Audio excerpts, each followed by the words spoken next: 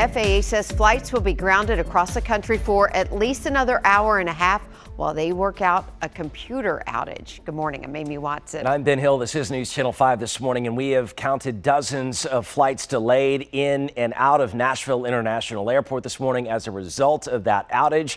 That's where Brianna Hamblin is live from this morning from BNA. And uh, Brianna, I know you've seen a, a lot of passengers there. Uh, we can see things picking up behind you, scrambling, trying to figure out what's going on. Yes, activity is definitely picking up here at the airport. I've talked to some people, asked if they've heard anything yet.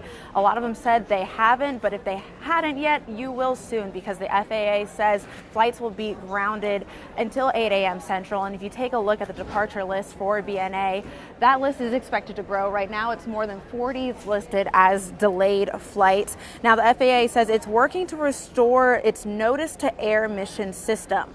That system allows pilots to communicate any local runway issues electronically.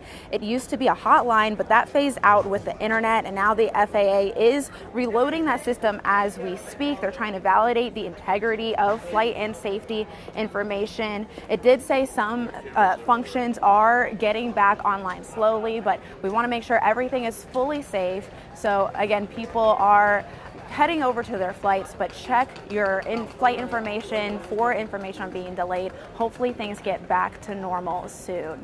Now, Rebecca, what are you hearing? So, Brianna, the situation all unfolded really over the past 90 minutes or so. I want to go in depth to give everyone an idea of what happened.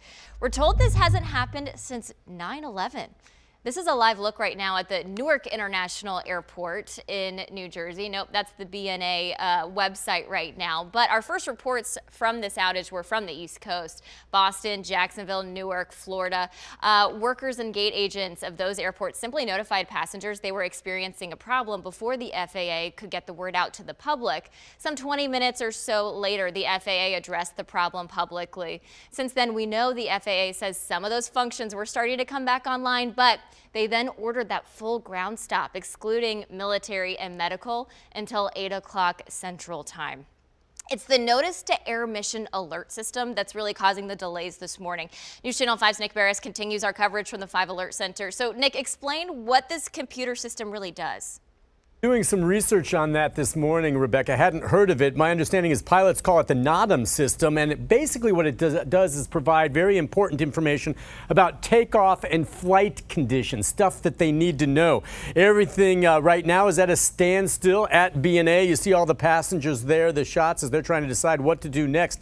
It's not just in Nashville, but all across the country because uh, the notice to air computer system, as you said, is not working. Now that system provides detailed, important information to pilots like runway closures, general bird hazard warnings, low altitude construction obstacles, and much more beyond that. These are all things pilots need to know to make sure that the flight is safe. Now, some may wonder why not just run them out hard copies of these reports. Uh, those system warnings, I'm told, can be quite lengthy, and depending on the flight, they can be, uh, you know, several hundred pages. As a matter of fact, if it's an international flight, the printing of them takes time, and then getting it to the pilot takes time as well. But that's actually what they're trying to do right now: get them hard copies. But that's going to cause delays. Hopefully, they get that system rebooted, and as we hear now, that hopefully will happen by around 8 o'clock our time.